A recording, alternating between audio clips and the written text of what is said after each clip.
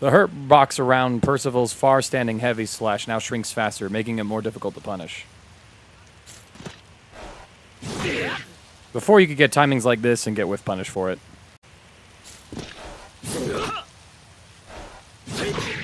As you can see, though, it's only been reduced by a couple of frames, and it's still very likely that you can get whiff punish on the sword hitbox of this move.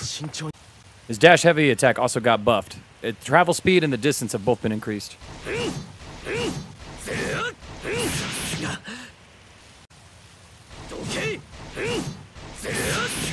As you can see, it now only takes three dashing heavy attacks to reach from full screen. This is nice since Percival can link a far heavy slash out of this move on successful hit. He'll appreciate being able to use this attack at more ranges and get more reliable hits with it. The startup of his medium fireball has been reduced down to 18 frames from 22. There's a couple of implications to this. For starters, this means you can actually use it to frame trap at the end of a triple attack string against six frame normals.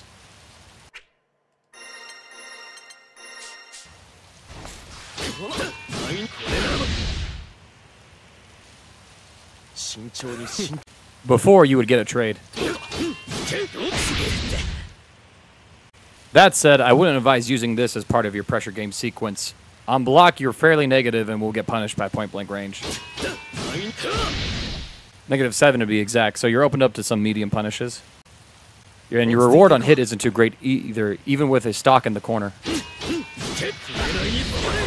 You can't get any links off of this move, so ultimately you're risking a little bit of fireball poke damage for a medium punish, so I would recommend using this in a string. This buff does have some implications for Percival's combo routing, though.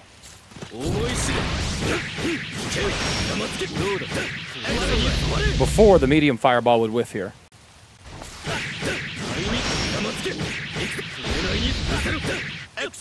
You're now able to not only link into it, but also pick up afterwards as well. This could potentially broaden Percival's combo routing in the corner so he can save his EX cooldowns.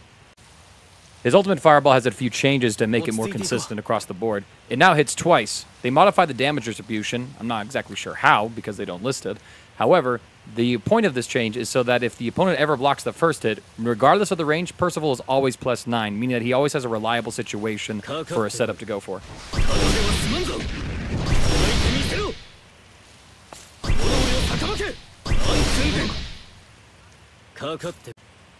And here's how it behaved before.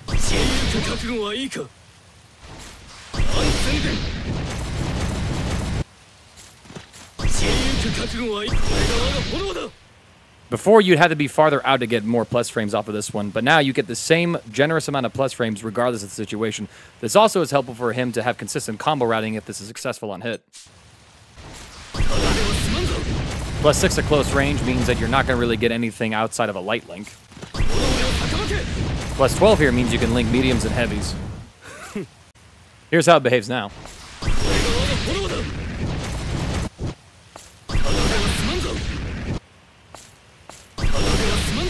You're always plus 13 regardless of when this hits. I'm pretty sure Percival players will appreciate just having a consistent situation on block and on hit when using this move so that they can just basically simplify their flow chart instead of having to adjust it based on proximity with the opponent. The medium and heavy version of his DP, Platzen, has gotten a couple of changes that are very much in line with what we saw with Djeeta and Gran in the earlier videos. The hitbox for the first hit of his non-buff medium DP has been expanded upwards, whereas the heavy version of his DP also had that same buff applied. For both versions, namely the Platzen with the buff applied to it, the first hit is now untechable, which means if only the first hit hits and the rest of it whiffs, the opponent's not going to be able to wake up and punish you for the rest of the DP whiffing on them. It's just a nice little quality of life change for him to make it more reliable to go for DPs and have a successful outcome if any hit connects.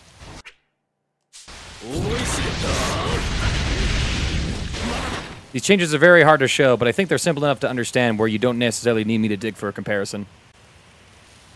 Lord Strike has received several buffs to its various versions and as well as its follow-ups, making it a far better tool for Percival overall. Let's start by going through the changes in order listed on the patch. The heavy version of Lord Strike's light follow-up, Schneiden, now causes a juggle state on grounded hits.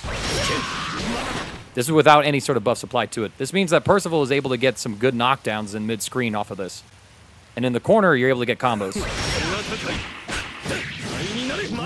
This is a nice buff for Percival that means that he's going to be able to get better combos as well as better mid-screen pressure when he's not up to any stocks. Before, this is pretty useless. The opponent was left grounded and you were at a plus zero situation, so this is basically just used as like some sort of standing reset, but really it wasn't a reset at all because you had no advantage. Percival definitely appreciates this buff. The light and medium versions of Lord Strike's medium follow-up, Mocked, has received several changes to its startup, hit stun, as well as properties on hit. All of this is to make it a better move when you actually use it to connect with the opponent. Before, it was largely designated just as a means for Percival to reset his pressure into plus frames. It had 20 frames startup before. Now the startup is down to 17 frames. This doesn't really have too many implications for his pressure and block strings because it's not like all of a sudden he's going to frame trap against 6 frame lights with this reduced startup. My theory here, though, is that it's likely going to make it so that he's able to use this more as a combo tool. The mid-air hit stun buff as well as the ground bounce has a couple of implications altogether with it. The ground bounce means that Percival's Okizeme is stronger on knockdown. Before it was at plus 27 frames. Now he's at plus 35 frames. He doesn't really get anything too crazy off of this one. He doesn't have a safe jump or anything, but he'll appreciate having the extra frame advantage to run the opponent closer to the corner. The mid-air hit stun is actually pretty good for him overall because the opponent could relatively jump against this move and not really fear too much of a punish. Now, if you're able to catch the opponent mid-air with Lord Strike mocked, you're able to actually get a full combo off of it. Great. Compare that to how to behave before. You couldn't link anything off of this hit. Now the opponent is not going to be able to rely on jumping up against Percival if he's going to autopilot into some sort of Lord Strike pressure. If Percival does this and he sees the opponent's moving up, he could use Mocked and get some pretty good rewards as this using as an anti-air. The final adjustment to the Lord Strike Mock version on these versions is that if when he has a stock, you're able to actually follow up with additional grounded attacks. Before, you didn't get anything. Now let's compare what rewards you can get. This is nice for Percival. This move was largely used just for block pressure only, and if you ever got a hit with the opponent, it was just simple damage overall. Now there's actually a real threat for when you can get a hit with this move, and that makes Percival all the more terrifying. The change to the buff versions of the light and medium Lord Strike mocked also applies to the heavy version without any stocks. Again, a lot of utility here for Percival. The medium and heavy versions of Lord Strike into the heavy follow-up, Zerasen, have had a couple of changes to the recovery on clean hit. They've all been reduced, and so now instead of only being plus 15 on hit, he's now plus 25 on hit. And the overall duration is down from 74 frames to 64 frames. Well, 63 for the heavy version.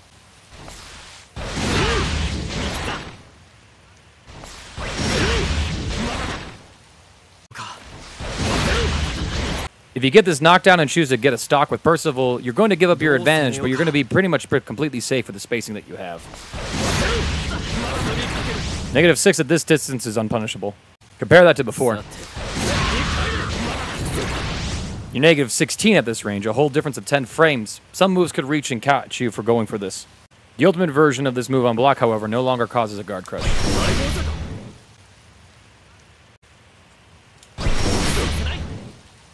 It seems like the opponent's pushed a little farther back in mid-screen from this move.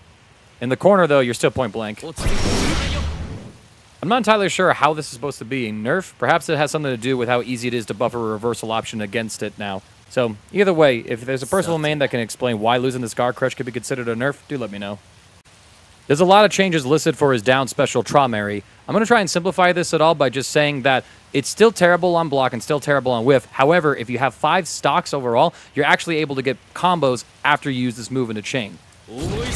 Here's how it would function before at this level. As you can see, we're still trying to stock up when the opponent's in knockdown. In the corner, you also don't get any follow-ups before.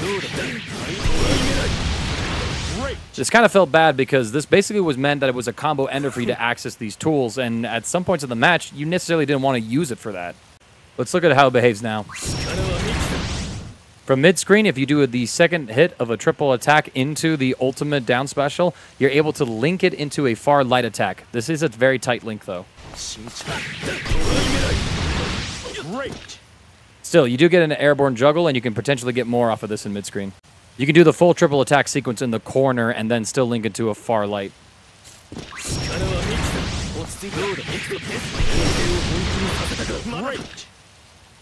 Once you're above five stocks, you get significantly more hit stun when you go into this move, and you're able to link things like a close heavy slash depending on the stocks you have left. This incentivizes Percival players to actually, first off, use the ultimate down skill to get his stocks above five, and then maintain those stock levels to then cash out into huge damaging combos like this. This is a potential example of what combo routes can look like for Percival in this patch with these changes. Shouts to Virum for posting this combo as well, by the way.